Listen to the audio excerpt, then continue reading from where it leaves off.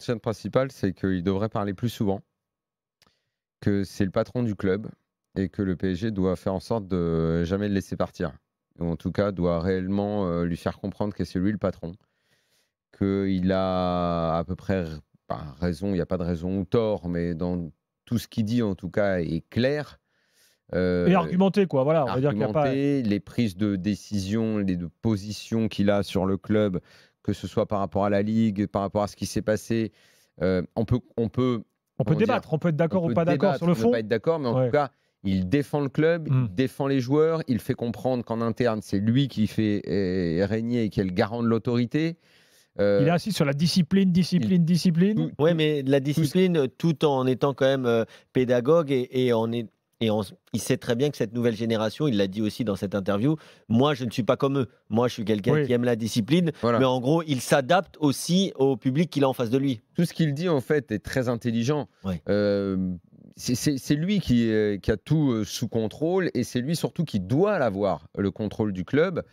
Et euh, moi, franchement, si je devais juste lui donner un conseil, c'est n'attends pas une fois par an pour parler. Parle plus souvent et fait comprendre que non seulement tu es le patron du PSG, mais fait comprendre au foot français euh, le nombre d'erreurs qu'il peut commettre parfois, euh, puisqu'on ne l'avait jamais entendu, par exemple, sur cet arrêt euh, totalement stupide de la Ligue 1. Hmm. C'est le genre de directeur sportif qui doit pouvoir s'exprimer.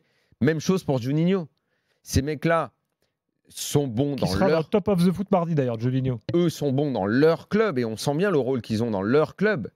Mais euh, j'ai presque envie de leur dire de temps en temps, n'hésitez pas à parler du foot français, à donner votre avis sur ce qu'il s'y passe. Là, Leonardo l'a fait ce soir. Il a bien fait comprendre que la Ligue a fait absorber n'importe quoi depuis le mois de mars. Et c'est difficile de lui donner tort là-dessus.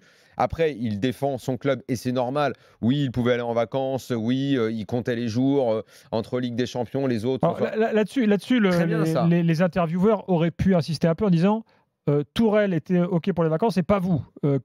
Qu'est-ce qui s'est passé? Ils, ont, pu assister moi, ce que tu as dit, ce que tu as dit sur le fait qu'il, euh, qu'il entre guillemets, qu'il a un peu botté en touche sur Tuchel, il n'y a pas de problème. Moi, je, moi, c'est pas du tout ce que j'ai vu. Hein. Pour moi, il a tourné autour du pot, il a fait une réponse de bon communicant, mais moi, ce que j'ai compris, c'est Tourelle. On a des problèmes financiers en ce moment, il fait un travail cohérent, il lui reste un an, on va lui laisser sa dernière année et puis après au revoir. Exactement. Mais pour moi, tu compris comme ça? Ah, Moi, je l'ai ah, bah, compris complètement comme ça. Moi, je suis d'accord avec Kevin, c'est ça?